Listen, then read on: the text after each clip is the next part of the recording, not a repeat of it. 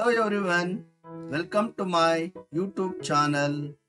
I am your Raghunatha R, Assistant Master, Government High School, Badavanalli, Madugiri Taluk, Tumkur District.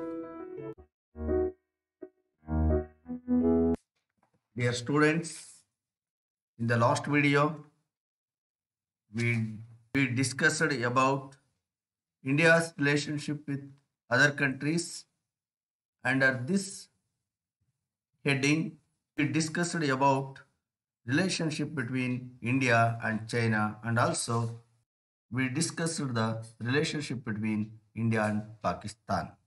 In this video, I am going to explain relationship with India and Russia and also India and America. Dear students, India has cordial relationship with powerful country Russia. It has similar relationship with United Socialist Soviet Russia also. ಈಗ ನಾವೇನು Russia ಅಂತ ಕರಿತಾ ಇದ್ದೀವಿ ಈ Russia ಮೊದಲು you S S R ಅಂತಂದೇಳಿ ಕರೀತಾ ಇದ್ರು ಯು ಎಸ್ ಎಸ್ ಆರ್ ಅಂತಾರೆ ಯುನೈಟೆಡ್ ಸೋಷಲಿಸ್ಟ್ ಸೋವಿಯತ್ ರಷ್ಯಾ ಅಂತ Bharat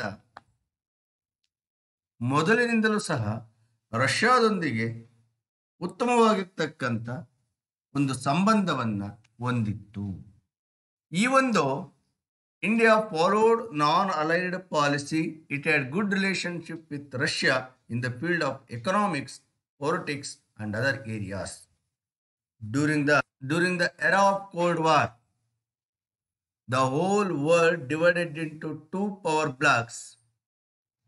In that time, India stayed away from the two blocks and it maintained equal distance from Russia and America.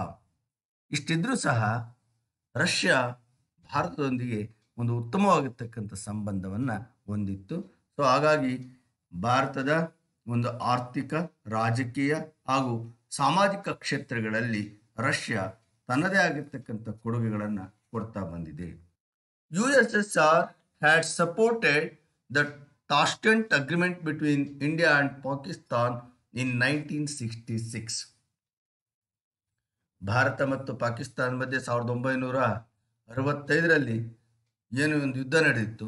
ಆ ಯುದ್ಧಕ್ಕೆ ಸಂಬಂಧಪಟ್ಟಂತ ಒಪ್ಪಂದ ಎಲ್ಲಾಗಿತ್ತಪ್ಪ ಅಂದ್ರೆ ರಷ್ಯಾದ ತಾಷ್ಕೆಂಟ್ನಲ್ಲಿ ಆಗಿತ್ತು ಭಾರತದ ಪ್ರಧಾನಮಂತ್ರಿ ಆಗಿರ್ತಕ್ಕಂಥ ಲಾಲ್ ಬಹದ್ದೂರ್ ಶಾಸ್ತ್ರಿ ಈ ಒಂದು ತಾಷ್ಕೆಂಟ್ ಅಗ್ರಿಮೆಂಟ್ಗೆ ಸಹಿಯನ್ನ ಹಾಕಿದ್ರು.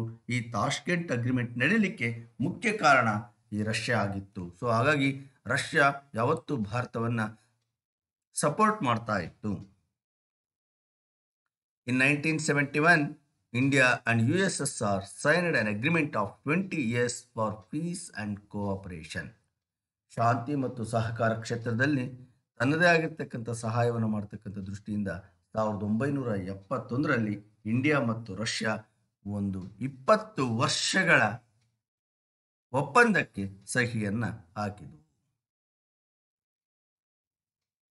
U S S R supported for the establishment of steel plants in Bhilai and Bokaro Bharat ಪಂಚವಾರ್ಷಿಕ ಯೋಜನೆಗಳನ್ನು ಆರಂಭಿಸಿದಾಗ ಎರಡನೇ ಪಂಚವಾರ್ಷಿಕ ಯೋಜನೆ ಹಾಗೂ ಮೂರನೇ ಪಂಚವಾರ್ಷಿಕ ನಾಲ್ಕನೇ ಪಂಚವಾರ್ಷಿಕ ಯೋಜನೆಗಳಲ್ಲಿ ದೇಶದಲ್ಲಿ ನಾಲ್ಕು ಬಹುದೊಡ್ಡ ಸ್ಟೀಲ್ ಅಂಡ್ ಐರನ್ ಇಂಡಸ್ಟ್ರೀಸ್, ಉಕ್ಕು ಮತ್ತು ಕಬ್ಬಿಣ ಮತ್ತು ಉಕ್ಕಿನ ಕಾರ್ಖಾನೆಗಳು ಪ್ರಾರಂಭ ಆದವು ಅದಕ್ಕೆ ಬೇಕಾಗಿರ್ತಕ್ಕಂಥ ಎಲ್ಲ ಆರ್ಥಿಕ ಮತ್ತು ತಾಂತ್ರಿಕ ಸಹಾಯವನ್ನು ಬೇರೆ ಬೇರೆ ದೇಶಗಳು ನಮಗೆ ಕೊಟ್ಟಿದ್ವು. ಅದರಲ್ಲಿ ಬಿಲಾಯ್ ಮತ್ತು ಬಕಾರಗಳಲ್ಲಿ ಸ್ಥಾಪನೆ ಆಗಿರ್ತಕ್ಕಂಥ ಎರಡು ಬಹುದೊಡ್ಡ ಕಬ್ಬಿಣ ಮತ್ತು ಉಕ್ಕಿನ ಕಾರ್ಖಾನೆಗಳಿಗೆ ರಷ್ಯಾ ಸಹಾಯವನ್ನ ಮಾಡ್ತು. So India has taken major support from Russia to improve its industries and also technology Russia has extended its support to India quest for permanent seat in the U N security council Russia ಭಾರತಕ್ಕೆ ಬೇಕಾಗಿರ್ತಕ್ಕಂಥ ಸಕಲ ಸೌಲಭ್ಯಗಳನ್ನು, Bharat MiG twenty one ಅಂತಕ್ಕಂಥ ಯುದ್ಧ ವಿಮಾನಗಳು ಏನಿದಾವೆ, ಈ ಮಿಗ್ಗನ್ನು ರಷ್ಯಾದಿಂದಲೇ ಪಡ್ಕೊಂಡಿರ್ತಕ್ಕಂಥ ಅನೇಕ ಯುದ್ಧೋಪಕರಣಗಳನ್ನು ಯುದ್ಧ ವಿಮಾನಗಳನ್ನು ಶಸ್ತ್ರಾಸ್ತ್ರಗಳನ್ನು ಭಾರತಕ್ಕೆ ಈ ಒಂದು ರಷ್ಯಾ ಅಂತಕ್ಕಂಥದ್ದು ಪೂರೈಸ್ತಾ ಬಂದಿದೆ.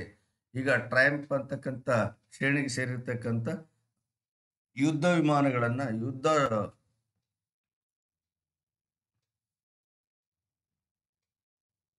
ಯುದ್ಧ ಟ್ಯಾಂಕರ್ಗಳನ್ನು ಭಾರತ ರಷ್ಯಾದಿಂದ ತರಿಸ್ಬೇಕು ಅಂತಕ್ಕಂಥ ಒಂದು ಆಲೋಚನೆ ಇದೆ.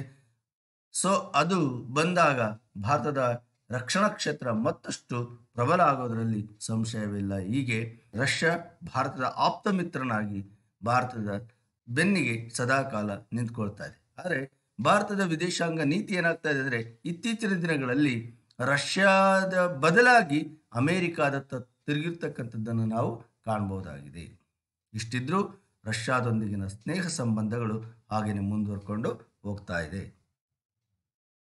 Students Now I am going to explain the relationship between India and America.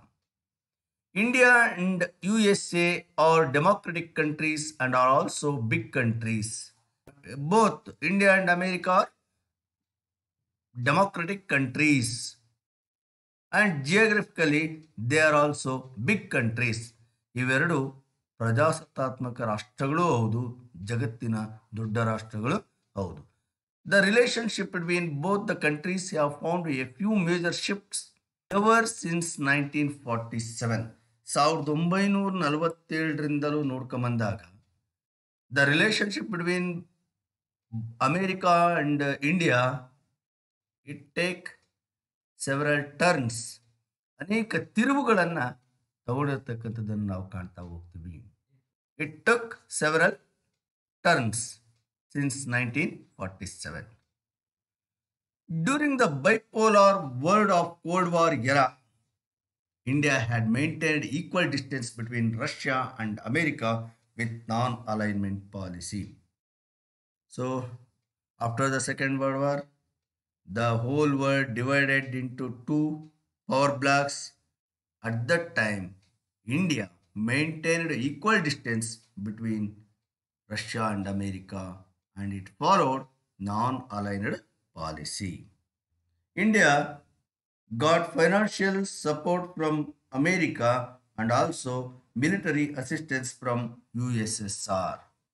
USA has supported a lot to India's five-year plans. Bharat ಈ ಒಂದು ಪಂಚವಾರ್ಷಿಕ ಯೋಜನೆಗಳನ್ನು ಆರಂಭಿಸಿದಾಗ ಅದಕ್ಕೆ ಬೇಕಾಗಿರ್ತಕ್ಕಂಥ ಒಂದು ಸಪೋರ್ಟನ್ನು ಬೆಂಬಲವನ್ನು America, ಕೊಡ್ತು USA has extended its support during Indo-China War of 1965.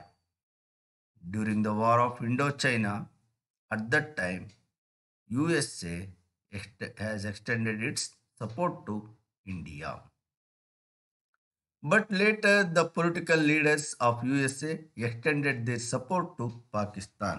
ಆದರೆ ಸಾವಿರದ ಒಂಬೈನೂರ ಅರವತ್ತೈದರ ಇಂಡೋ ಚೈನಾ ವಾರ್ ನಂತರ ಏನಾಯ್ತಪ್ಪ ಅಂದರೆ ಈ ಒಂದು ಭಾರತದ ಬಗೆಗಿನ ಅಮೆರಿಕಾದ ನೀತಿ ಬದಲಾಗ್ತಾ ಹೋಯಿತು. ಇದುವರೆಗೂ ಭಾರತಕ್ಕೆ ಸಹಾಯವನ್ನು ಮಾಡಿರ್ತಕ್ಕಂಥ ಅಮೇರಿಕ ಈಗ ನಿಧಾನವಾಗಿ ತನ್ನ ದೃಷ್ಟಿಯನ್ನ ಪಾಕಿಸ್ತಾನದ ಕಡೆಗೆ ತಿರುಗಿಸ್ತು. It support to it gave it support to Pakistan.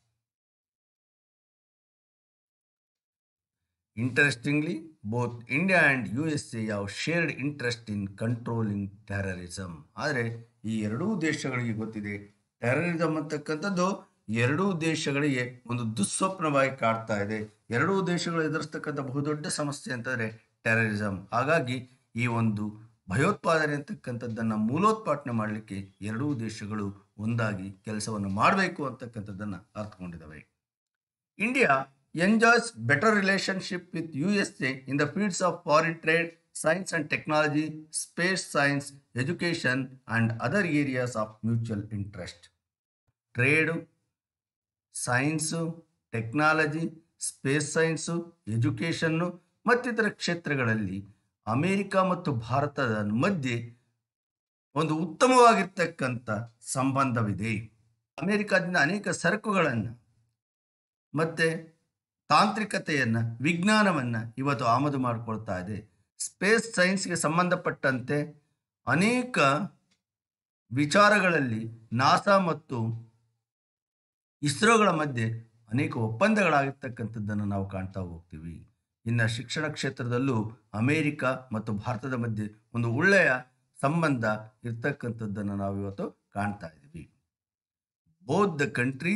mutual responsibility strengthening U N O and maintenance of global peace India keeps observing the policy shift in the two parties of U S A Democratic and Republican parties ಇವತ್ತು ವಿಶ್ವಸಂಸ್ಥೆಯನ್ನು ಬಲಪಡಿಸೋದರಲ್ಲಿರ್ಬೋದು, ಜಾಗತಿಕ ಶಾಂತಿಯನ್ನು ಕಾಪಾಡೋದರಲ್ಲಿರ್ಬೋದು, ಇವೆಲ್ಲದರಲ್ಲೂ America ಮತ್ತು ಭಾರತ ಜೊತೆಯಾಗಿ ಹೋರಾಟವನ್ನು ನಡೆಸಬೇಕಾಗಿರ್ತಕ್ಕಂಥ ಒಂದು ಅನಿವಾರ್ಯ ಸ್ಥಿತಿಯನ್ನು ಇವತ್ತು ಅಮೆರಿಕ ಮನಗಂಡಿದೆ. ಆ ಮೂಲಕ ಇವತ್ತು ಭಾರತದೊಂದಿಗಿನ ತನ್ನ ನೀತಿಯಲ್ಲಿ ಬದಲಾವಣೆಯನ್ನು ಮಾಡಿಕೊಂಡಿದೆ. ಒಂದು ಭಾರತಕ್ಕೆ ಯಾವಾಗಲೂ ಸ್ವಪ್ನವಾಗಿ ಕಾಡ್ತಾ ಇದ್ದಂಥ ಅಮೇರಿಕ ಇವತ್ತು ಭಾರತದ ಅತಿ ಪರಮ ಮಿತ್ರ ರಾಷ್ಟ್ರವಾಗಿ ಹೊರಹೊಮ್ಮೋದ್ರ ಮೂಲಕ ಭಾರತದೊಂದಿಗೆ ದೃಢವಾಗಿರ್ತಕ್ಕಂಥ ಹೆಜ್ಜೆಯನ್ನು ಆಗ್ತಾ ಇದೆ. ಇಲ್ಲಿ ಡೆಮೊಕ್ರೆಟಿಕ್ ಮತ್ತು ರಿಪಬ್ಲಿಕನ್ ಪಾರ್ಟೀಸ್ ಏನಿದಾವೆ? ಅಮೆರಿಕದ ಈ ಒಂದು ಡೆಮೊಕ್ರೆಟಿಕ್ ಮತ್ತು ರಿಪಬ್ಲಿಕನ್ ಪಾರ್ಟಿಗಳು ಅಧಿಕಾರಕ್ಕೆ ಬಂದಾಗ ಆಯಾ ಪಾರ್ಟಿಗಳಿಗೆ ಅನುಗುಣವಾಗಿ ಅವರ ವಿದೇಶಾಂಗ ನೀತಿಯಲ್ಲಿ ಬದಲಾವಣೆ ಆಗ್ತಾ ಇತ್ತು. ಆದರೆ ಇತ್ತೀಚಿನ ದಿನಗಳಲ್ಲಿ ಭಾರತದೊಂದಿಗಿನ ತನ್ನ ನೀತಿಯನ್ನು ಅಮೆರಿಕ ಬದಲಾಯಿಸಿಕೊಂಡಿದೆ. ಭಾರತದೊಂದಿಗೆ ಉತ್ತಮವಾಗಿ ಕೈ ಜೋಡಿಸ್ಲಿಕ್ಕೆ ಈ ಒಂದು ಅಮೆರಿಕ ಮುಂದಾಗ್ತಾ ಇರತಕ್ಕಂಥದ್ದು ಒಂದು ಉತ್ತಮವಾಗಿರ್ತಕ್ಕಂಥ ಬೆಳವಣಿಗೆ ಅಂತ ಹೇಳ್ಬಿಟ್ಟು ನಾವು ಹೇಳ್ಬೋದು.